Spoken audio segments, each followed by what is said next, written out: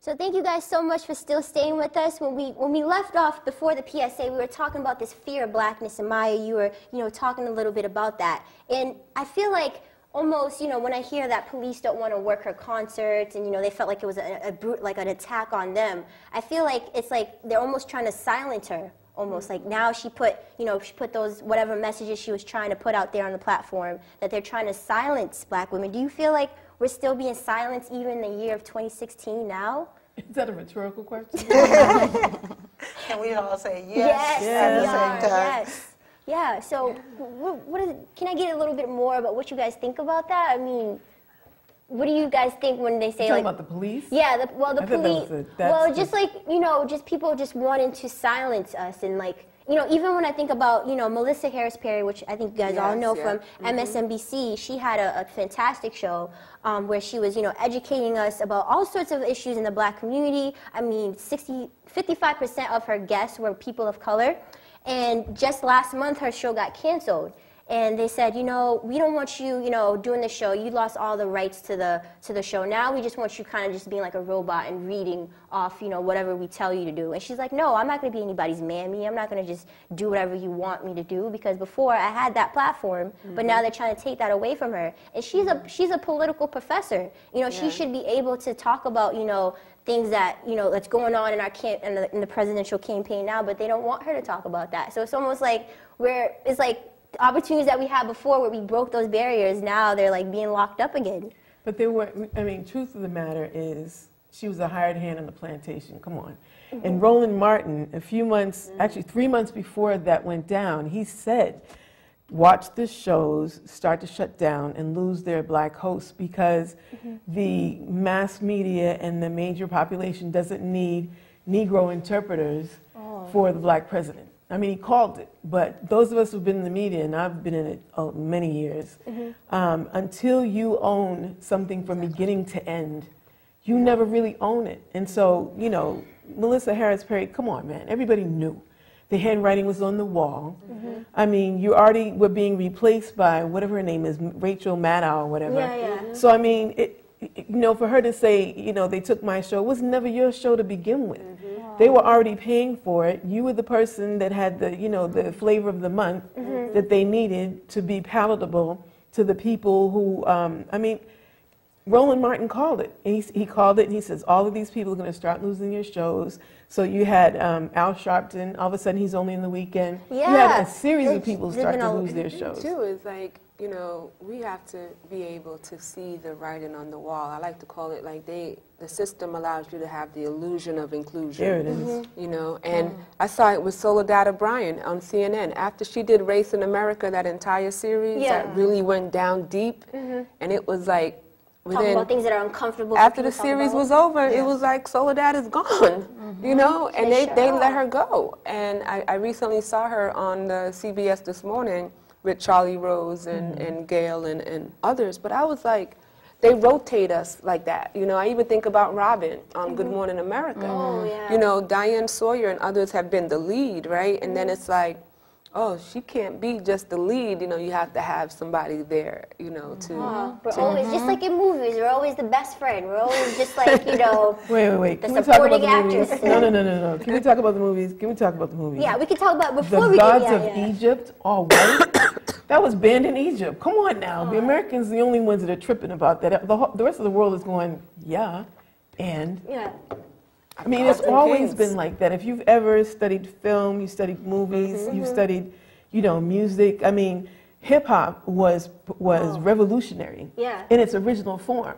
That was the voice of the people, the voice of the street. Fight the power. You had it for self destruction. The last I mean, poets. Okay, and so there was a, and, and there's been plenty of um, articles and, and shows done that said there was a concerted effort to change that dialogue Mm-hmm. because our, our young people are programmed by mm-hmm. music. Mm-hmm. Yeah. Our young people are programmed by the media, and black youth watch more television than anyone Wow. for a lot of different reasons, mm-hmm. but more than anyone. And so, and they have it in their ears, directly to mm-hmm. their brain. Yeah. So there's a concerted effort to change that, the words, to change the lyrics, to change the beats, to program our kids, and we slept at the wheel.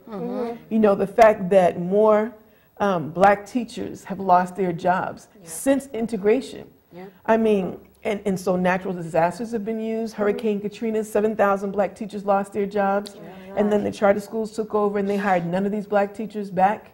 Since 1954, all the black schools and institutions that we started to educate our people after it was no longer illegal to learn how to read and write and talk to each other, all of a sudden they were shut down in the name of integration, and then all the teachers were deemed um, unfit to teach white students. So there are hundreds of thousands of teachers, and that was part of the strong black middle class. If you were a teacher in the black community, that was preacher, teacher. I mean, you were up there. That was a respected position. And so you don't even have our kids. The majority of our children are being, see, I'm about to go there. Yeah. On purpose because you have these young white female teachers who are afraid of our kids, that don't know our culture, that don't care about it. Mm-hmm. And they, oh, our little children, treating our little kids like, you know, they're, Mm-hmm. they're um, chia pets and Yeah. stuff. You know, these are our children. And we're letting that happen. We are the original teachers of our kids, and we're letting them get away with it. Sharon, mm-hmm. I totally agree with everything you're saying. I think we have to have another show about just education itself. Mm-hmm. Fine, But Black I, want, Matter, I do want to bring it back to a point that you said about Yeah. music and how it was, you know, educating. I mean, Yeah. especially, I feel like nowadays, you feel like that's coming back. I mean, especially for you as a musician, Shea. I mean, you're always being co- conscious. You always mm-hmm. have strong messages in all your songs and your poetry. Do you feel that other mainstream artists are starting to get on that loop again? I mean, when I think about Ken- like artists like Kendrick Kendrick Lamar Lamar, and things like that. yeah, like I do think so, but I, I don't think the women are. You know, I, and as you said, you know, Beyonce mm-hmm. doesn't write public policy. That's not what she does. But she Yeah. writes lyrics. She can decide what she wants to say, and it doesn't mm-hmm. have to be You know, the best yeah. way for me to, you know, empower I'ma take you myself is through store. making more money and paper. Yeah. That's not the message that she needs to send to young women. Yeah. Yeah. All right, awesome. So, and I, and I okay. think too with hip hop culture, you know, like Politicking with the Sisters was launched like 18 years ago, and I remember sitting with our organization and is writing grants, and it was like this outlaw culture, you know. Mm-hmm. And so in those early years, again, the revolutionary outlaw, mm-hmm. and and it was so empowering for black girls, you know. In the research, it's like, yeah, they're empowered by the culture, mm-hmm. but then at the same time, there was this level of misogyny and sexism as we saw the culture evolve. And to go back to media, when we look at it, right, the, the corporation that the city and the state just gave $150 million in tax breaks to, GE, they mm-hmm. own CBS. Yeah. They're one of the top 10 all connected. huh? multinational mm-hmm. corporations in the world. And GE has history back to our ancestors. You know, and so when you look at that, and, and Noam Chomsky wrote a book called Manufactured Oh, Consent. Noam Chomsky, yeah. And that's where you'll see the breakdown, even in the record industry. There are subsidiaries of subsidiaries of subsidiaries. People think, oh, Jay Z owns Roc Nation. No, that's Live, Live Nation, Nation. Yeah. and, and Right. Jay Z a little bit. It's you just gotten smaller and smaller and smaller. So Puffy like and Bad Boy, you know, that's like, you know, a little piece of Puffy and Yeah. then other people. Yeah. And so when you look at it, it's Mm. like we have to get to that place of like, yo, this is ours and be unapologetic about it. Yeah, Yeah. we You do. know, because others, others are like, you know, they're like, no, you can't come here. This is, you know, da da da mm-hmm. da da. Because I remember listening to something about Dr. King not too long ago, and and Mother Coretta, and the conversation was what Dr. King was struggling for was for desegregation, mm-hmm. was to end the segregation laws. It wasn't necessarily around integration. Well, it was initially. Yeah.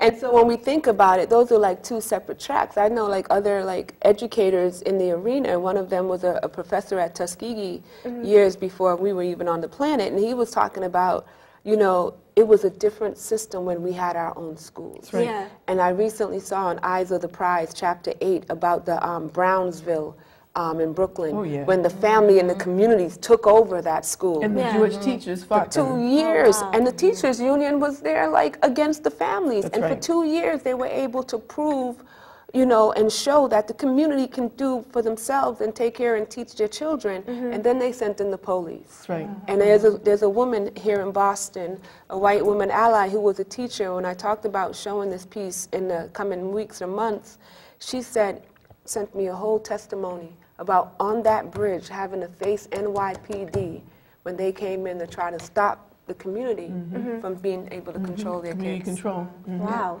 So we really do need to like, you know, be unapologetic, like you said, and really try to own our own and Yeah. get back to that system again. Well, we almost. always And- did at one yeah. point, and and um, and, and why I've been so adamant about Black Teachers Matter, Mm-hmm. and standing out there for six weeks, Black Teachers Matter, and you know, people come up and go, all teachers matter, and I said, well, all teachers will matter when Black teachers matter. Mm-hmm. I mean, we are the ones that have struggled, suffered, and died, and everybody steps on our back and gets over, and then looks at us and pff, forget. You know, and so you know, so the dialogue gets, gets changed as kumbaya. You know, people Yeah. of color, no, Yeah. that's not the same thing. You can't compare immigrants to former slaves. That's a different scenario. That's a different frame of reference. That's a different fight, Yeah. and it's a different struggle. And so, uh, you know, allowing other people to to program to take our music, which they've always tried to do, take our music and us give it up. See, they've always been trying to take it. You've always had like uh, rock and roll, Well, sh- and you had, you know, I'm so Elvis sorry Presley. to break Go you ahead. up a little bit, but we're going to take a short break. We're going to come right back to that because we do want to talk about Black Lives Matter and everything that you're saying. Stay tuned. Continue the conversation with us. Watch part 3 when we talk about Black Lives Matter and the importance of our voices. We're celebrating Women's History Month in a big way. Stay tuned.